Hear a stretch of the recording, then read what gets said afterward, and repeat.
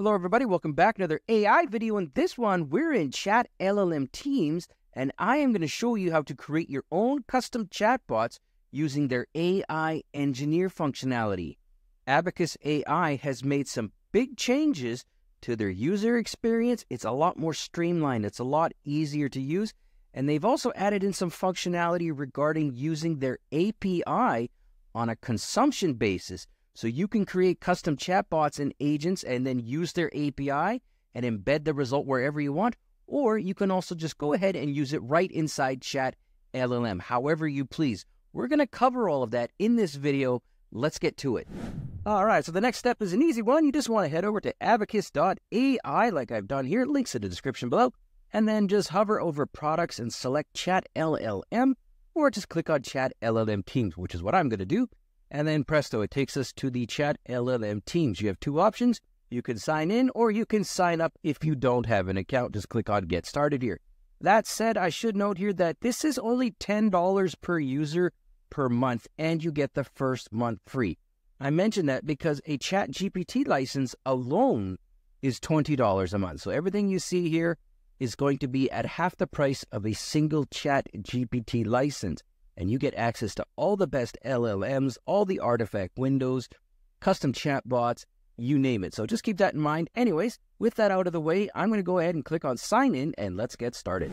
All right, once you've logged in, you should see a screen that looks just like this. The first thing I like to do, click on that little down arrow and then just take a quick look here. Now, what we're looking for is down at the bottom, the AI engineer. But let me just quickly point out here that they have access to all of the best large language models, all of the state of the art ones, including, and this is very important, the brand new O1 Preview and O1 Mini from OpenAI. They've got it all here, as well as Search LLM, which is the Search GPT competitor. But of course, Search LLM has shipped and Search GPT has not. So there you go. We're going to go right down to the bottom, like I said here. Click on AI Engineer. When you do that, you're going to see here, hello, I am an AI engineer, your assistant for Abacus AI. Create a custom chatbot. Let's go through that. All right, so here we go. So creating your own custom chatbot with AI Engineer is easy. They have streamlined the user experience to almost just literally just click and go. So here we go. We're going to create a custom chatbot. I'm going to click on it, and now it's going to ask me to name it. In this case, it says what would you like to name your custom chatbot? For example, my assistant or company helper. Nope. I'm going to go with Python bot because I want to create a bot that helps me write Python code. This is one really good example of what you could use the AI engineer functionality for. Hit enter, and it's going to tell me that it likes my name. Now, before we create the chatbot, it wants to know if we're going to use any specific data sets. So if you have your own data, this is the part where you can go ahead and say, yes, please use my data. I've got some tabular data that I'm just going to show you as an example. So I'm going to type in yes. Now, this is, again, purely optional. You do not have to do this, but if you've got your own data, use it. So here we go. I've got some data set. So I've got some data. So it sparks up the data set wizard. So let's go ahead and click on this. And now you're going to see here we can select an existing data set. We can upload a file zip or use a connector. I'm just going to upload a file for this one, but it's good to know that all of those options are available. I'm going to go into my Finder. If you're on a PC, you know, go into your Explorer, and I'm just going to drag and drop that right here, just like it's asked me to do. And I've called it tabular data because, well, that's just a nice way to put it. So there we go. I'm going to submit it. And now we are using our own data. That's very, very important. So here we go. It says you've created a new data set called uh, 172, blah, blah, blah. Okay, it's a big number. And now let's move on to defining the purpose of your chatbot. Could you please tell me what you'd like Python bot to do? So, answering Python programming questions, explaining Python concepts, or helping with Python related tasks. Those are all three of the things I wanted to do. So, I would, uh, we're going to go Python, oops, Python concepts. Come on, Curtis. Concepts. We want Python concepts. What else do we want? We want Python. Um, we want Python to do programming and we want Python. Let's see what else we want programming, concepts, and maybe, you know, I don't know, just stuff like that. Uh, we're going to do related tasks. We're just basically anything to do with Python. So, again, this is pretty general, but if you have a very specific use case, of course, go for it. Here we go. I'm going to do that, and it's going to say, hey, thank you. It is now creating the custom chatbot based on the requirements I gave it, as well as the optional tabular data or the optional uh, content that I uploaded, the data that I uploaded. So here we go. And now it is executing the code. So keep in mind, you can always click on copy code. So if you see, once it's done, you can take the code and reuse it. But it's also very, very cool because it will start to tell me exactly what it's doing. It's really fantastic because in this executing code section, you actually get a deep dive and you can see what it's up to. So I'm going to come back when this is done. It should take a few minutes, like it said. Then I'll show you the code and I'll show you what it's doing. Then I'm going to show you the next steps. All right, welcome back. So that took about 60 seconds here. And now we can see what it's done in this next series of steps here. It checks the features group. So here we go. Checking feature groups, execute some code for us. Keep in mind you can click copy code at any time to take that code and use it. Execution result. All documents type feature groups in the project are materialized now. So we uploaded our data set and it is good. Now it's checking feature mappings, executing code. Again, let's just click on copy. Why not? And here's the code here. You can see what it's doing. So again, completely transparent. You can always see what's happening here. Execution result, auto inferring feature mappings. Okay, that sounds pretty fancy. Setting up document retrievers. So there we go. It's using the stuff that we uploaded. Also keep in mind that you don't have to do that, but it's doing that in this case.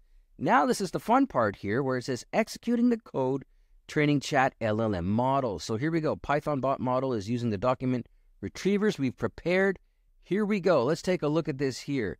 You are a specialized program programming assistant, Python programming assistant. Your primary functions are explain Python concepts clearly and concisely, answer Python programming questions accurately. It gives us six of those there. Fantastic. And then here's some of the guidelines. Always strive to provide accurate, up to date information about Python. This is exactly what I want in a Python chatbot or in an AI engineer. And let's just keep going down here. So be patient and thorough in your explanations.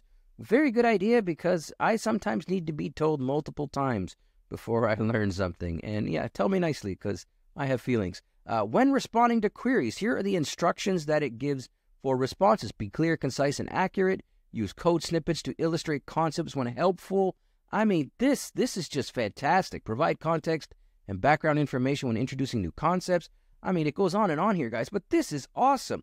So this is what it does now. Now we're going to go take a look at it because we can actually click on it and we can make adjustments to it and we could even deploy it in another area rather than just using it in chat LLM. You can even deploy it outside of that. So let's take a quick look at that now.